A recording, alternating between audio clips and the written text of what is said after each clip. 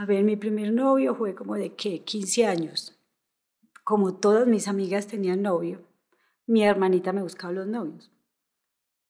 Yo siento que eso era más bien como una experiencia de adolescente, que es normal. Le dije que sí, pero fue algo muy lindo, muy limpio. Diríamos que casi de niños. Y fue algo muy gracioso. Primero porque era una experiencia nueva. No había antes. Algo muy gracioso y a la vez algo que a usted le activaba algo de su ser como mujer que nunca lo había experimentado, ¿cierto? Como la sensación de un beso. Pero no, de ahí. Y yo notaba, por ejemplo, mis hermanas, las menores, las mayores, ellas eran unas niñas, unas muchachas súper coquetas, bonitas, bien arregladas. Pero yo veía que se limitaban mucho como a eso, eso las amarraba. Y por mi forma de ser extrovertida, nunca me ha gustado nada que me amarre, que yo sienta que es postizo. Entonces le corría como a entregarme a esos romances de adolescente. Pero sí sentía, sentía que me gustaba aquel niño, que me gustaba aquel muchacho, que mis hermanas me traían razones, que mire que cambie de moda, que cambie de look. Eso es bonito, eso es muy bonito porque eso es como, como un sueño que usted tiene adentro y que va, va haciendo realidad, sentirse como todas las mujeres. Lo único que recuerdo era que el teólogo que dirigía el retiro nos dijo que nos soltáramos, que olvidáramos las preocupaciones, que nos dejáramos llenar del Espíritu de Dios. Y eso fue lo que hice. Cuando yo abrí los ojos, pasaron dos horas.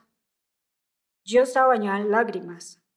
Yo sentía algo así como una especie de bola de fuego, una llama interna que me quemaba, pero me daba mucha paz. Y desde ese momento tenía, iba a cumplir 16 años. Y desde ese momento me propuse, el lugar donde yo encuentre una experiencia como esta, esa va a ser mi vocación. Y regresé a mi casa normal, regresé con mi mundo normal, mi novio, me gustaba mucho el baile, mi baile, mis grupos, mi colegio, pero era muy curioso. Por ejemplo, el novio que tenía trataba pues como de ser más, más delicada, más amorosa, más tierna, a ver si sentía como lo mismo y no sentía lo mismo. Era otra especie de, de gozo y felicidad, mas no era la, la espiritual que estaba buscando. No me llenaba, comprendí y entendí que mi vida no era una vida de, matrimonio o de pareja. Con valentía sí le dije que no quería nada, que yo quería seguir una vida diferente. Y él me decía que yo no sabía qué era el amor, que yo lo que necesitaba era que me amaran, que se casaba conmigo. Y es algo muy particular. Hay momentos en la vida que uno responde cosas que aunque usted no las ha vivido, es como el Espíritu de Dios que lo ilumina. Yo recuerdo que yo le dije, yo me enamoré de Jesús y pues lo desarmé porque ¿qué hacía él? Yo sentía a mí, Liliana, yo sentía que me limitaba a amar un solo ser, siendo santo y puro como es el matrimonio, lindo.